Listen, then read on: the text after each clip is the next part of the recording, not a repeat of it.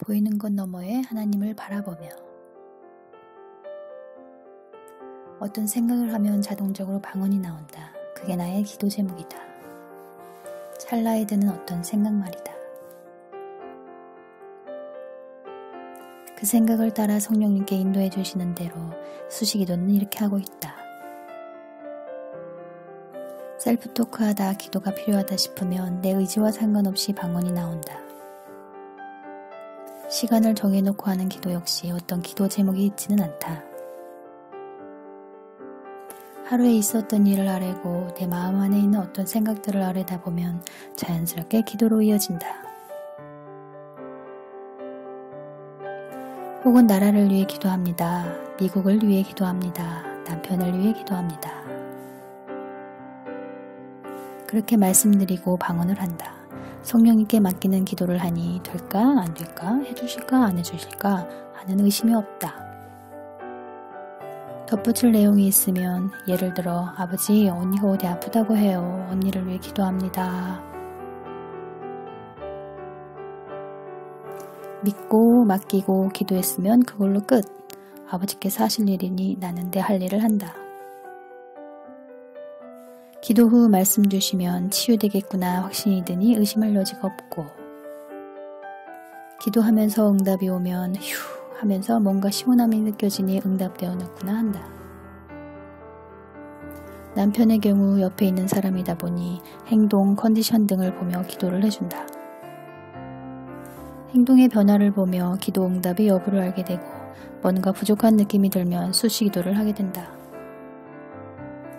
신앙이 어릴 때부터 이런 기도를 해와서 그런지 하루하루 보여주시고 인도해 주시는 대로 그 길만 따라갈 뿐이다. 성화의 길에서 만나는 어려움, 난관, 문제 등을 놓고 기도하니 그의 나라와 의를 구하게 되고 그때그때 필요에 의한 기도를 하게 되니 응답도 잘 된다. 내 안에 하나님께 초점을 맞추면 된다. 이걸 어떻게 설명해야 한다? 마음에 귀 기울인다고 해야 하나? 뭔가 곰곰이 생각할 때처럼 주변에 어수선한 것 잠시 내려놓고 내 안에 집중하는 것이라고 말하면 될까? 뭔가의 시선을 고정할 때처럼 그렇게 내 안에 하나님께 귀를 기울인다. 양심의 소리에 귀 기울이는 것, 성령께 민감하게 반응할 수 있는 방법이다. 말씀을 읽고 또 읽고를 반복하니 어떤 생각을 하면 말씀으로 확증시켜 주신다. 긴가 민가 이건가 저건가 생각에 확신이 없을 때 말씀을 주시니 바른 방향을 찾아가게 된다. 이전 일, 곧 지나온 광야의 삶을 돌아보며 잘했다, 참 잘했다, 인내하기 정말 잘했고 이 길을 선택하기를 정말 잘했다고 자신을 다독이며 칭찬하게 된다. 힘듦 뒤에 있을 보상, 그것을 바라고 행동하는 것은 아니지만 그 보상이 분명히 있다. 연단된 자에게 의할 평강한 열매가 있다. 자기 부인이 될수록 생각이 바뀌고 마음도 새로워진다. 이전에 생각하던 부정적, 이기적, 시기 질투, 비난, 판단, 정죄와 같은 그런 패턴과 방향이 아니다.